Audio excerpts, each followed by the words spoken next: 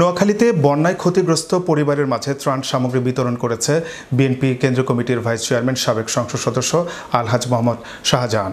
বিএনপির চেয়ারপারসন দেশনেত্রী বেগম খালেদা জিয়া এবং দেশনায়ক তারেক রহমানের নির্দেশে নোয়াখালী জেলা বিএনপির উদ্যোগে এই ত্রাণ সামগ্রী বিতরণ করা হয়। শুক্রবার সকাল থেকে দুপুর পর্যন্ত নোয়াখালী পৌরসভার নয়টি ওয়ার্ডের পাঁচ হাজার পরিবারের মাঝে তিনি এই ত্রাণ সামগ্রী বিতরণ করেন। বিএনপি কেন্দ্রীয় কমিটির ভাইস চেয়ারম্যান, সাবেক সংসদ সদস্য আলহাজ মোহাম্মদ শাহজাহান বলেছেন, বৃহত্তর নোয়াখালী সব পানির নিচে। বিগত সরকার পানি নিষ্কাশনের জন্য কোটি কোটি টাকা খরচ করেছে। কিন্তু পানি কি নামে?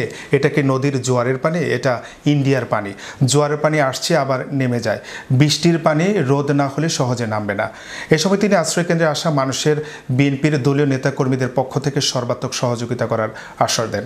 এ সময় আরও উপস্থিত ছিলেন নোয়াখালী শহর বিএনপির সভাপতি আবু নাসের ও জেলা যুবদলের সাধারণ সম্পাদক নুরুল আমিন খান। আমাদের জেলা ফেনী লক্ষ্মীপুর সব পানির নিচে। এই যে বিগত সরকার পানির জন্য কোটি কোটি টাকা খরচ করছে পানি নামে? এটা নদীর জোয়ারের পানি। নাকি?